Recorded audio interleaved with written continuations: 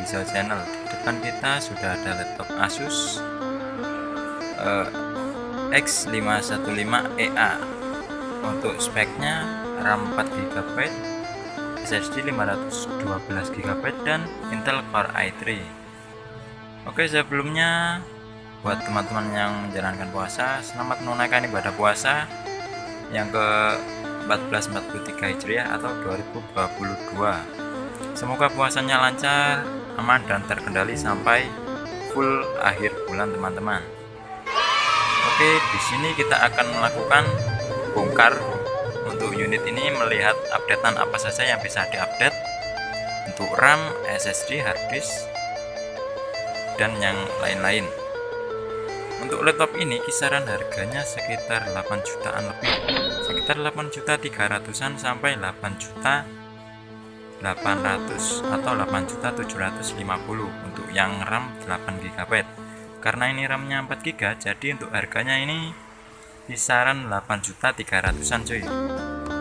Oke selanjutnya kita buka. Selanjutnya kita buka untuk uh, laptopnya kita buka framenya. Kita balik dulu teman-teman dan untuk samping untuk tampilan di belakangnya atau di tampilan bottom case nya seperti ini teman-teman. Ada bautnya 4 di depan 3 2 di samping dan tengah. Yang berjumlah 10 totalnya. 4 3 3 3 dan 3 seperti ini. Jadi diingat-ingat untuk bautnya teman-teman karena panjangnya berbeda. Selanjutnya kita susruk pinggir-pinggirannya ini sudah saya susruk teman-teman. Jadi seperti ini sudah pegang. Jadi tinggal kita tarik saja. Karena saya menggunakan tangan satu karena untuk merekamnya ini sulit ya teman-teman. Saya tidak menggunakan tripod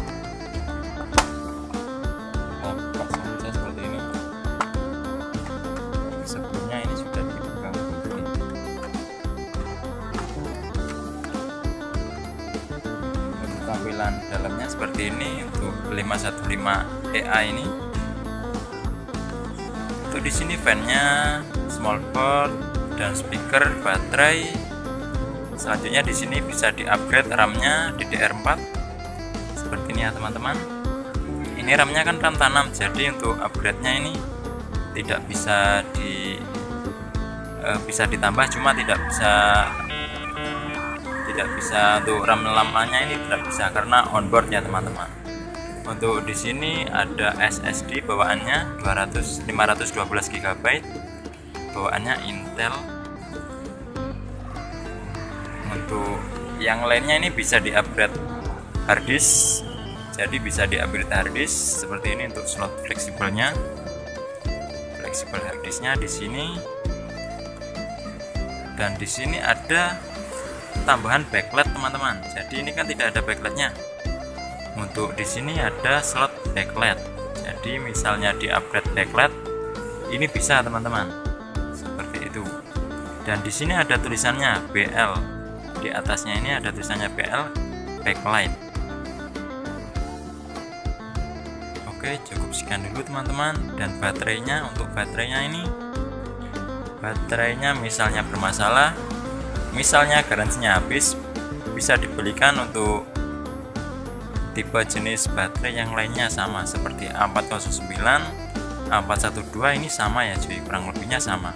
Karena desainnya ini sama cuma untuk letaknya saja yang berbeda letak bautnya untuk rumahnya ini nanti menyesuaikan menyesuaikan dengan laptopnya. Seperti itu.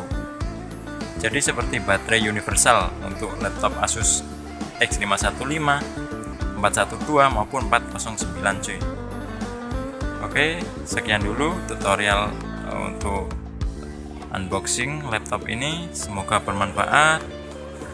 Jangan lupa di like subscribe dan komen. Jangan lupa like comment and subscribe and subscribe see you in the next video